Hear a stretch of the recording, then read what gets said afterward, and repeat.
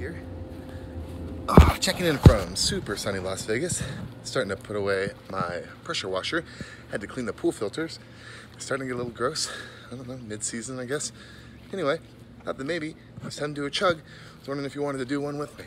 So I'm gonna go inside where it's not so super, super hot and do a chug. We're doing a key lime seltzer water juice thing. Anyway, cheers.